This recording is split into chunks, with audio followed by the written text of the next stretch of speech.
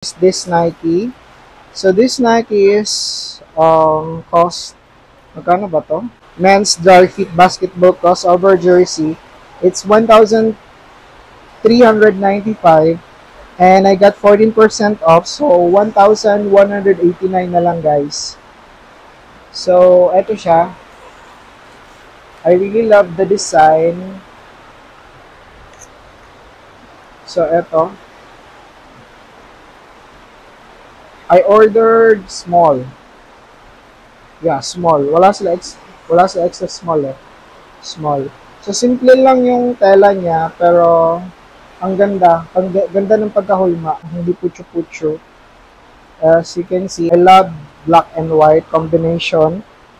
So eto siya. Dry fit siya guys. As you can see. Maganda siya. For 1,300 sulit naman yung presyo. So, tingnan natin yung etiketa niya. So, as you can see, tatlo din yung etiketa niya, guys. So, it's really authentic. So, simple lang yung ano niya, design niya. Dry fit siya. Si parang pang basketball jersey something. Pero gusto ko yung pagka-check niya dito. So, susukatin natin guys. Lakas yung ulan. Pero, I'm gonna end this vlog for this last apparel. Ganda.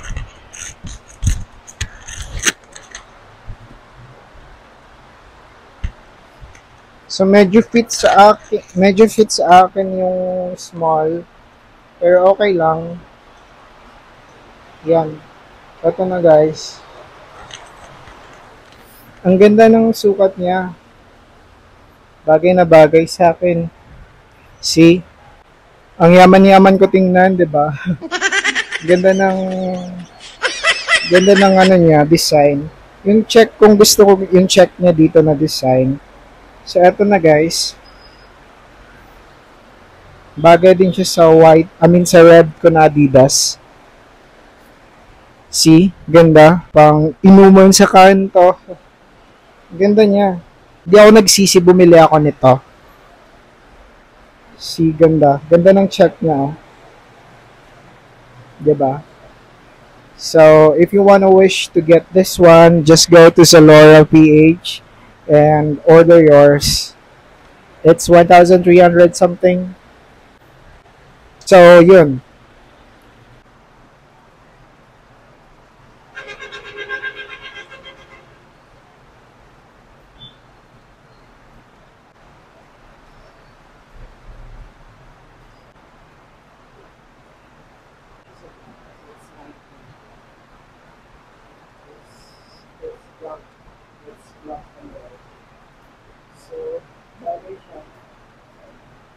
I've done unpacking, I've done a quick review for the products that I bought in Zalora.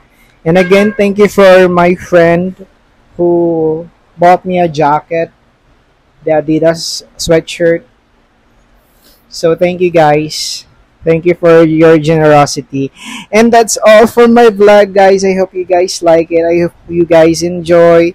So see you guys again next vlog. Don't forget to click the subscribe button, hit the notification bell, and don't forget to click like and share. So see you guys again next vlog. Bye-bye. Peace, love. May tag pa oh. So gagamitin ko siya mamaya sa gym para bagong apparels, 'di ba? So, yun yung purpose ko para bumili ako ng mga apparels para pang gym ko. Because I am a sports guy. If you're new to my channel, just click the subscribe button and then the notification bell so you'll be updated for my new videos.